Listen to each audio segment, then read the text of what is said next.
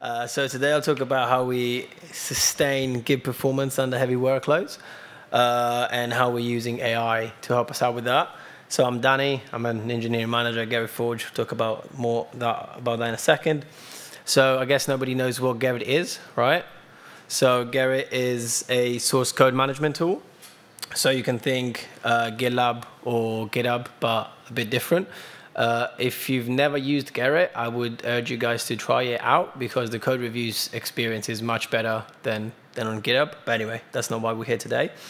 It's the fully one that is based on Git. Now, why am I saying the only one? Obviously, GitHub and GitLab also use Git, of course.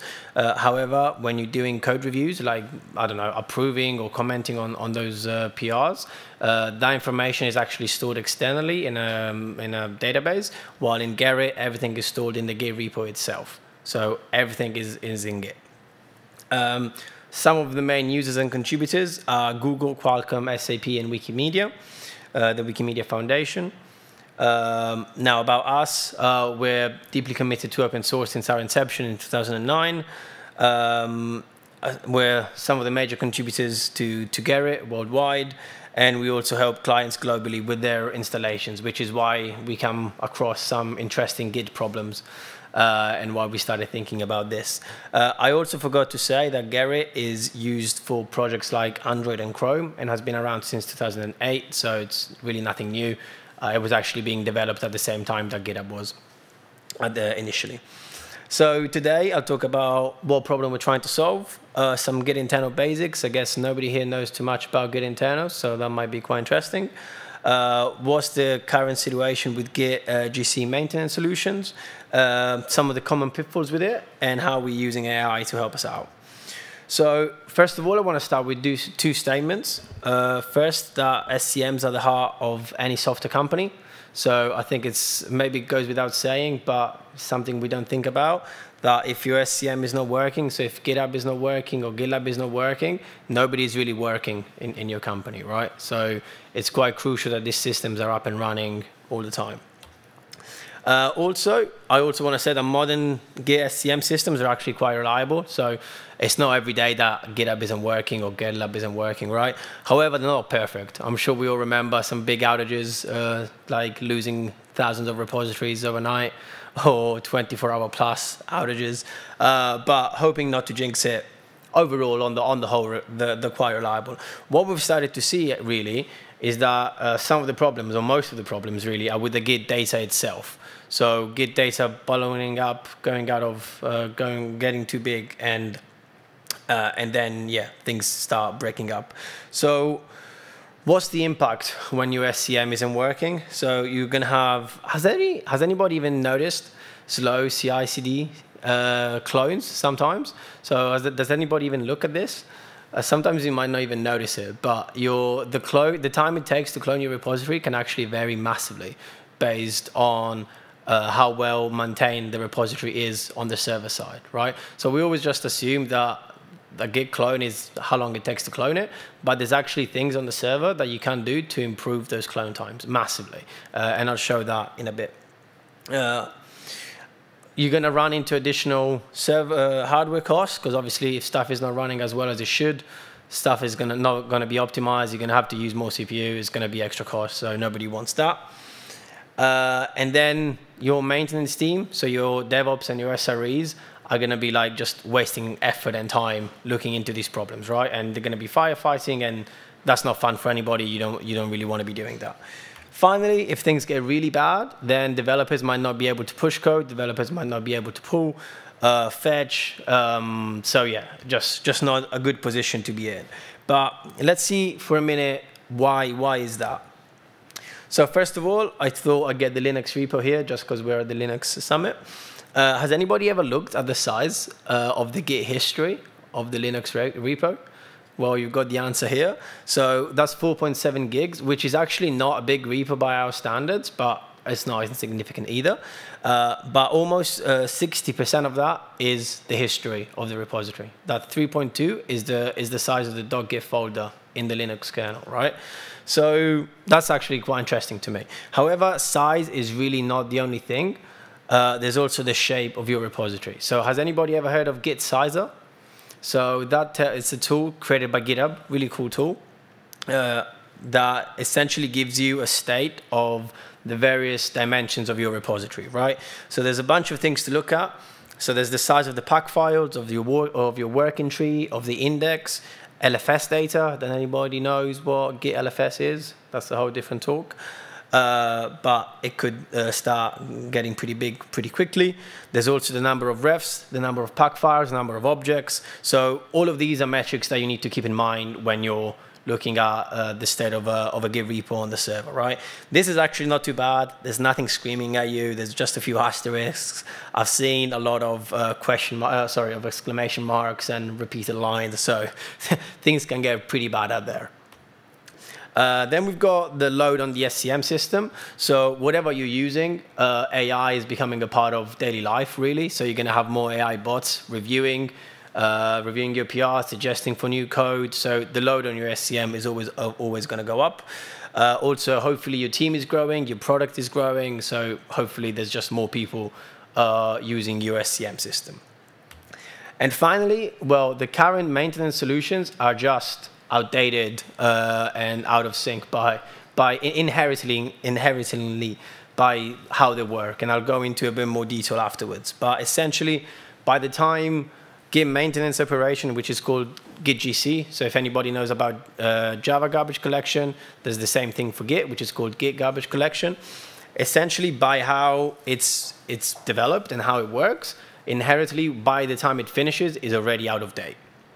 So this is because, and I'll, I'll talk a bit more about this, but each new push may essentially makes the result of the previous cleanup cycle less and less effective. And also, force pushes are a disaster for, for Git performance. So when you're force pushing, th there's nothing essentially wrong with force pushing, but it does add extra load on the SM, SCM system, especially at clone time. You might not think about that. So Let's talk for a bit about what goes on in a, in a Git server. I think this might be quite interesting for you guys. So first, let's talk about how a repository is structured. So the core of your repository are objects. There's four type of objects.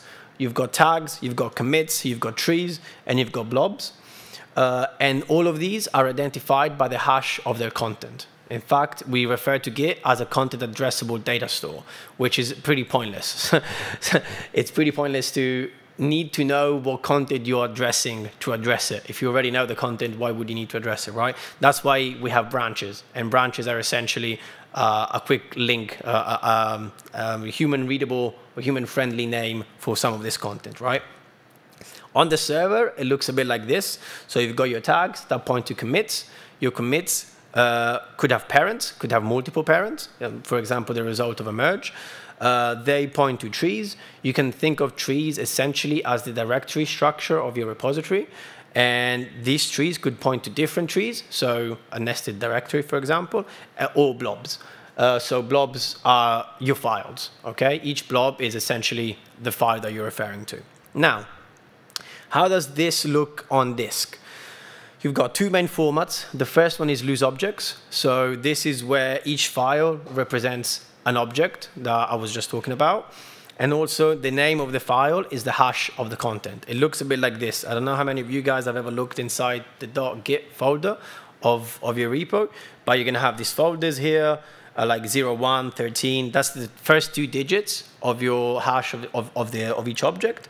And then if you go into those, any of those folders, you're going to have, the, now this is a simple repo, there's only one, but you're going to have a bunch of files that are all named with this weird SHA-1s. Now, these can be um, um, inspected. So if you do a git cat file minus t of any of these SHA-1s, you're going to get the type. So this is a tree, for example.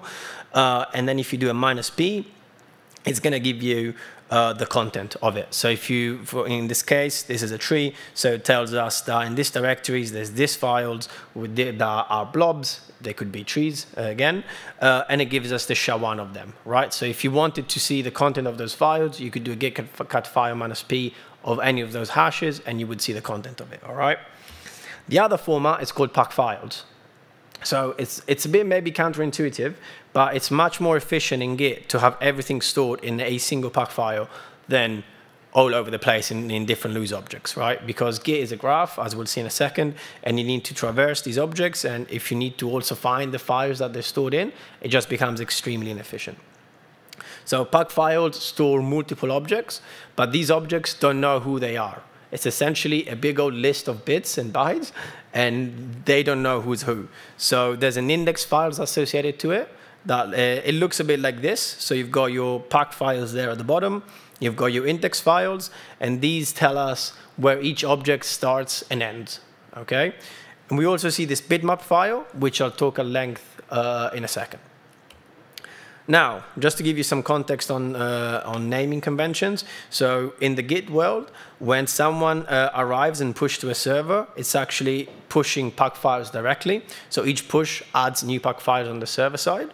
And these, um, a push is called the receive pack in the Git world because the Git server is receiving data. So it's seen from the server side, right? Now, Gerrit, and now uh, here's why I'm specifying Gerrit UIs in interactions create loose objects, okay? While GitHub and GitLab UI interaction just write data to a database, so they, they, sorry, they don't really interact with, with the repo at all. Conversely to that, when uh, a user comes along and does a fetch or a clone, that's called an upload pack because the server is uploading data to the server. Now, this is where the magic happens. There's actually a lot going on here. So let's look at it in a bit more detail. The, this is a whole topic by itself, by the way. I gave a talk last week or two weeks ago about just just this. So um, I'm going to shorten it a bit, and I'm only talk about the first two phases because it's what we care about. But essentially, say you've been on holiday and you come back and you want to get the latest data in, in your Git server. So you're your client, you're the client, you're stuck on commit A, and you want to get the new uh, the new work that um, your colleagues have done while you were away. So you're going to request the latest version of the branch. The server is going to reply telling you this is the latest SHA-1 that I've got. The client says, great, I want that.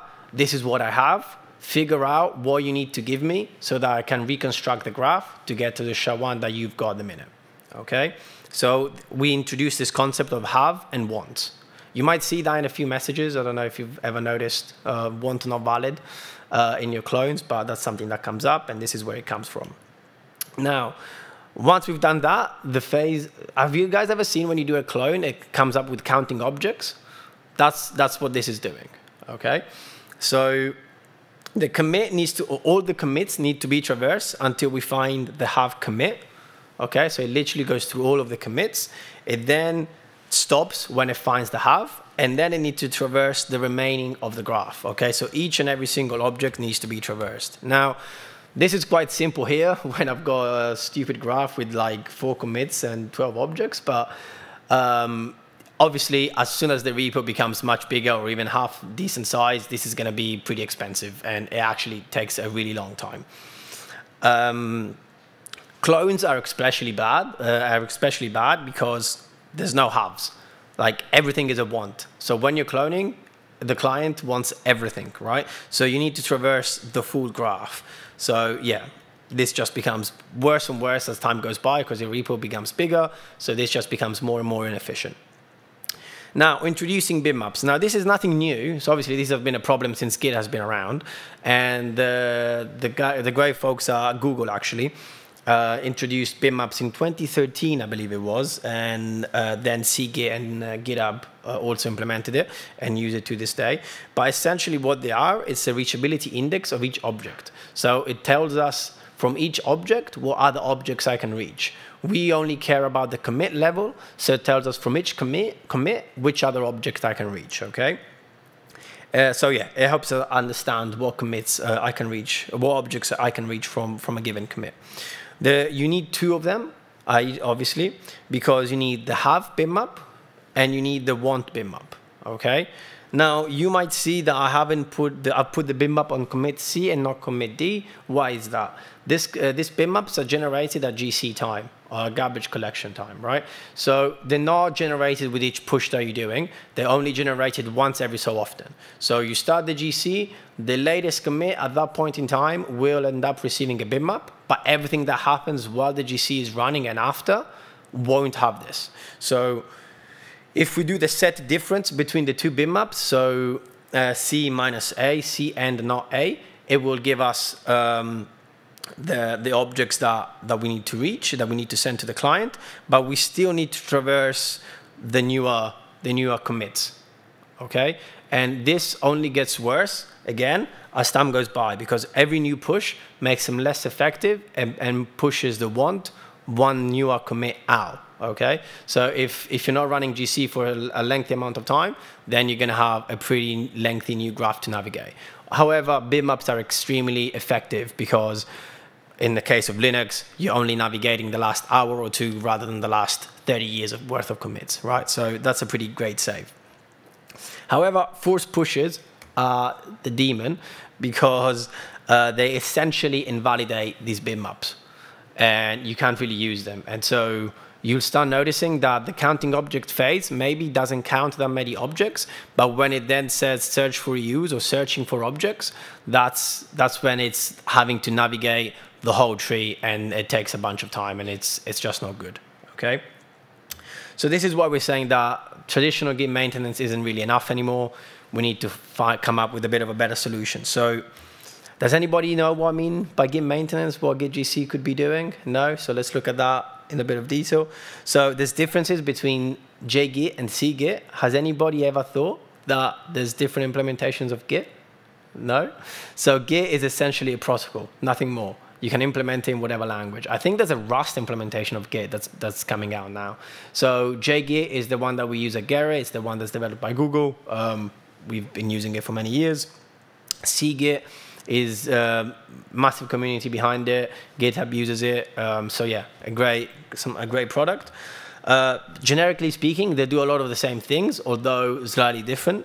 So they compress the loose objects and the pack files into one single pack file. That's because even if you have multiple pack files, they can still they still cannot uh, compress as much because they need to rely on the data within that commit. While if you put all of this, all of the pack files in one single pack file, then you can get some big, big optimizations in terms of storage.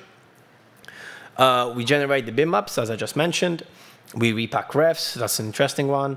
Uh, we prune old pack files that are no longer needed. Uh, we create commit graph files that allow us to navigate the repo much, much more efficiently. And then there's a few ones that only CGit does that we don't yet support in JGit, but we might look to contribute, which is running geometric repacking, which I'll briefly mention in a second. Uh, generating multi-pack uh, bitmaps indexes, which is pretty cool because so far the bitmaps I've been talking about are specific to a single pack file and they can't really span multiple pack files, while the CGit guys with this great improvement managed to make it so that it can still go across multiple pack files, which is really cool. Um, and then finally, you can generate cruft pack files, which is another nice implementation. So in a, in a bit of detail of a few of these ones, I'm not going to talk about all of them. So garbage collection. So you, we're, we're, repacking refs. So we generate two pack files. There's the heads pack file and the bitmap. And then the non-heads pack file, the refs, but we repack refs, we prune uh, redundant or expired pack files, prune unreachable. Anyway, what we're doing here is a lot of stuff. It's a big complex operation. It takes a bunch of time. Uh, this can take hours. We've actually managed to create scenarios where this doesn't finish because it's like everything is so messed up. So it gives you really good benefits, but it's extremely expensive and, and takes a lot of time. Bitmap generation, which is an action that wasn't possible to execute before, but we can now, uh, essentially only generates the headpack file and the bitmap. So much more efficient, and in terms of speeding up your clones, gives you the same benefits. Geometric repacking also is a pretty cool one. So instead of repacking everything in a single pack file, you're only repacking the newer packs uh, so that you maintain a, a, certain progression, geometric progression of number of objects in, in packs. So instead of always repacking everything, you're only repacking the newer pack files every so often. There is no, however, there's no separation between the heads and the non-head packs. And uh, the pack files are, are expired immediately, which could cause uh, some, uh, some issues when cloning. So for us, we didn't really think this was quite production ready. So now the question becomes, now that I've gone over a bit of an overview, now the question becomes, how do we get the best performance in the cheapest way at any point in time? And that's what we've been trying to solve, right? So talking about cheapest, you can simply leave a repo grow unsupervised. Now, this is not a made up graph. This is like our tests. So if you start just pushing to a repo and do nothing on it, you would see how the clone times massively degrade over time. So you really don't want to be doing this. So the state of the art nowadays really is either time or threshold-based GC schedules. Um, they look a bit like this. And you can see that during the working hour, the, the number of pack files goes up in a quadratic fashion. And then uh, after, after a certain time, it all starts going down and uh, is, uh, is able to recover and um, keep everything and put everything back in sync. However, yeah, we can't really. What, what, do we think is happening here? Well, essentially, devs are just going home, right? And uh, they're done for the day, so they stop working, and then Git is able to catch up, right? However, if you're a distributed team that works globally, you can't really rely and hope that your devs are going to stop working and just go home, and then you catch up, right? But let's talk for a second about why this is happening. Essentially, what I've already mentioned is Git takes uh, Git GC will take 45 minutes in this case, so it wasn't too bad, and it's scheduled to run every two hours. So in those 45 minutes that it's running, and the remaining hour and 15 before we run it again, there's an accumulation of pack files that is greater than what we're managing to reduce at GC time, right? So we were lucky here that the GC was only lasting 45 minutes and it wasn't overlapping with newer running GCs, but really if that GC started taking a few hours, we wouldn't know. We would kick off two GC at the same time and everything would blow up, right? This is not the only way of doing it, but it, it gives you a good, a good idea.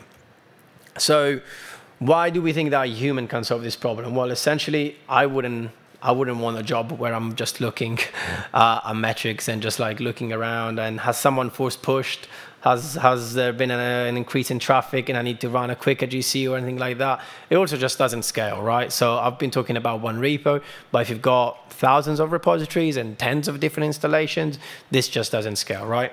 So we started looking at uh, how we can integrate some AI and make it a bit smarter. And what we came up with is a GHS. Anybody from England here? No, so a uh, bit of a play on word on the national health system. So we've called it the GerritForge uh, Health Services. Um, so for this part, we collaborated with uh, Dr. Shane McIntosh from the University of Waterloo. Uh, he's done some great stuff. Uh, you can Google him up. Uh, he's he's helping out, helping us out with the scientific background to this, and he's also going to be publishing um, uh, some some papers on this.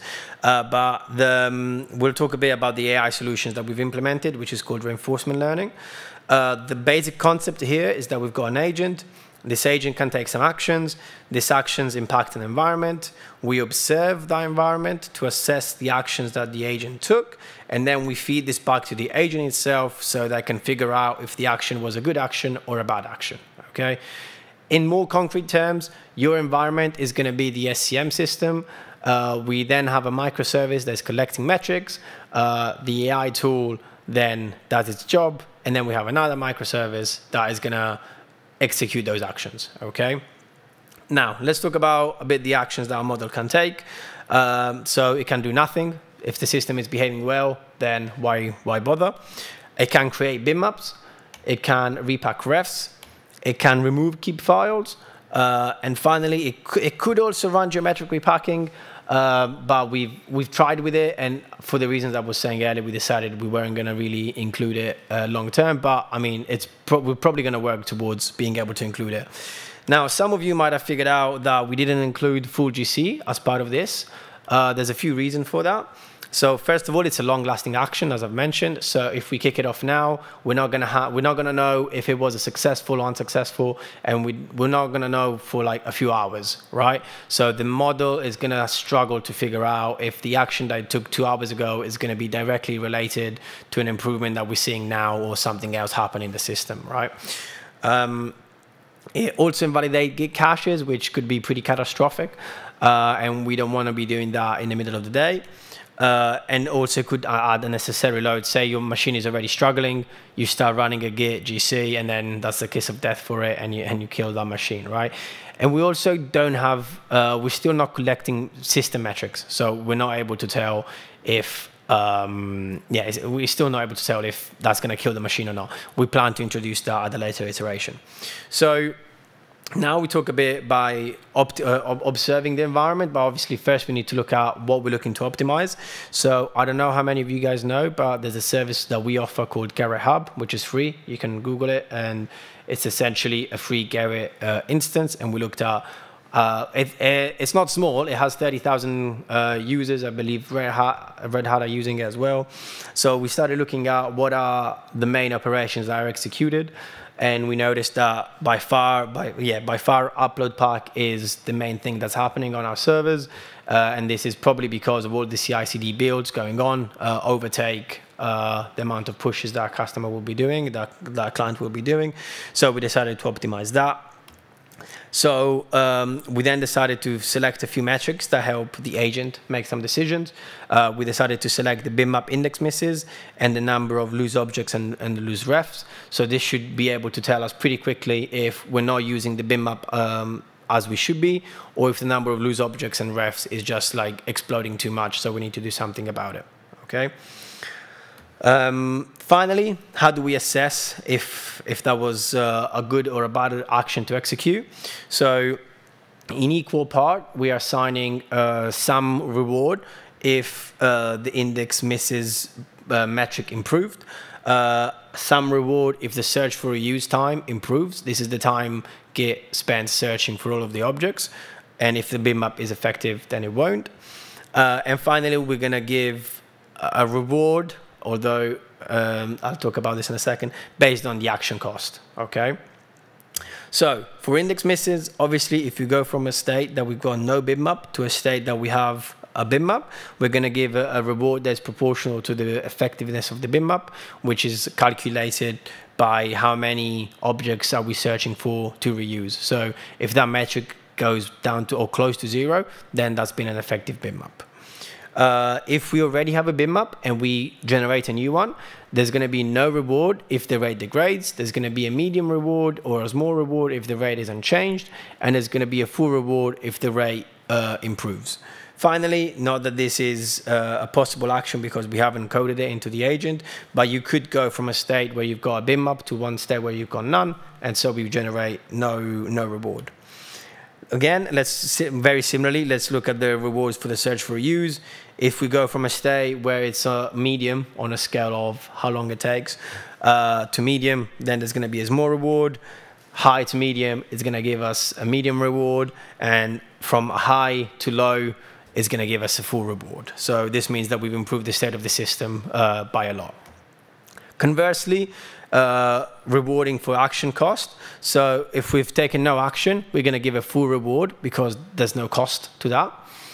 Uh, if we create a bitmap, it's not an expensive operation, but it's the most expensive operation that the agent can take at this point in time. So that's going to give no reward. And then if we're repacking refs, that's going to be a small reward. Uh, finally, uh, let's look at for a second at how we implemented the agent. So we used an algorithm called Q-learning, which is a white box. There's no complicated neural networks or something that we don't know what's going on in the background. Uh, so what we need is essentially a discrete representation of the state, uh, past actions and uh, that were taken in that state, and a cumulative reward of the rewards that we get uh, that we, that we got for those actions. Okay. So at this point, we need to select um, when we find ourselves in any state, we need to select an action to execute. So what we're doing is from action 521, for example, we're going to filter out the irrelevant entries, so the ones that are in, in a different state, and then we're going to select the one that got a, uh, the highest cumulative prior reward. So we're going to end up in this scenario with creating the bitmap. Okay, this is this is just an example. So yeah, that's uh, quick reinforcement learning for you guys. So let's quickly look at the theoretical evaluation of the plan. So what we thought we were going to see. So uh, we're going to plot the search for use over time, and we're going to plot a few different scenarios. So if you've got no remedial action, the search for use grows as, as we were theorizing, well, as, as I showed earlier. Uh, this is something, by the way, that we theorized, and then we went to figure out if it's actually happened or not. I'll talk about that in a second. Uh, if we use time-based GC, we see that the system stays in play a bit longer, but eventually also can't cope. And then with our agent, what we were hoping to see is that we were always able to keep the search for reuse quite low. So the two KPIs that we gave ourselves is to minimize the area under the curve. So yeah, reduce the amount of area to a minimum, and also the number of catastrophes that are happening um, during the experiment. Now, how do we evaluate this in the real world? And I think for me, this is the most interesting bit. Uh, well, we generated a, a, gym for GHS, so we called it the GHS gym. Uh, and essentially, we've put a Git server on steroid. So we did a bunch of modifications that you wouldn't really put in production, but allowed us to have to, to yeah to have much much higher traffic and and uh, support it. Uh, does anybody here know Gatling? The load testing tool. So this is nothing new, but we generated, uh, well, we contributed many years ago now, uh, an, an, an, extension to it called Gatling Git. So that allows us to load test uh, Git servers. So that's what we reused for our experiment. So we generated some new profiles with our Gatling Git tool and started hammering this Git server. We then connected the, the, the agent to it that was executing uh, executing actions and uh, getting rewards. Now, what this allowed us to do is we managed to, in a few hours, generate a few years worth of traffic and learn the and teach the agent what to do in uh, in those specific scenarios that you would see over a much longer period of time, usually. All right, so. After that, so th we call this our warp speed environment. And then after that, we deployed now that the agent is all trained up and as a bit of a professional, we deployed it to production and now it's able to keep learning. So it's not like it's going to stop learning and learn nothing new, but it's going to it's going to be able to handle most of the situations and then see how those behave in the real world uh, uh, environment and keep adjusting uh, over the years based on the newer data and the new assessments that it makes. Uh, so we call this, yeah, anyway, this is a normal speed.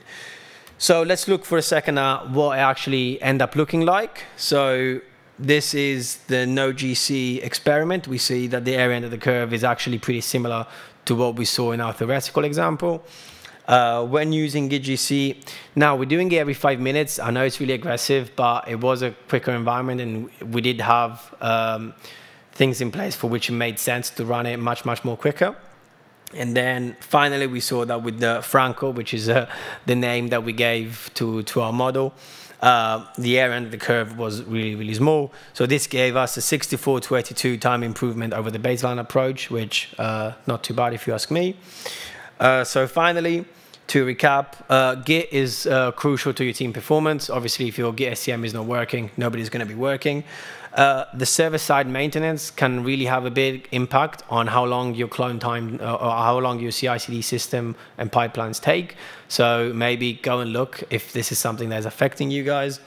Uh, and then the yeah time or threshold-based GitGC is is really, I mean, it does the job, but not that well, and and it can be improved. Uh, so to recap what we what GHS brings to the table, more importantly than the actions that I can take now, but it's a framework to train an AI agent who is able to, ex to execute actions based on what's best to do at that point in time, and it can iterate and improve over time. Um, it also has the ability to execute different test actions uh, with ease, which I think is pretty cool. Uh, yeah, so you can add your custom action there if you want. And also you can then fine tune your model to your traffic and if this hadn't been clear, uh, it works on any Git server, so it works. It can work on GitHub if you have an enterprise, uh, GitLab, and uh, Gerrit. So yeah, that's it. Any questions? Take that for now. Thank you very much.